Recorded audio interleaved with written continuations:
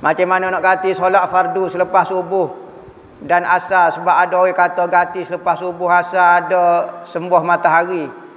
Hmm, bukan. Kalau kita nak qada lepas subuh lepas asar boleh. Tak ada istilah sembuh matahari. Sembuh matahari ni kalau kita semaya sunat. Semaya sunat sebab kita boleh buat waktu lain. Jangan buat waktu tu kerana dalam hadis Nabi kata matahari naik di celah kekeng. Ifrit. Jin dan dia terbenar di bawah kekeng jin dan ifrit juga. Maka kalau kita semaya pada waktu tu seolah sembuh matahari seolah sembuh ifrit tu.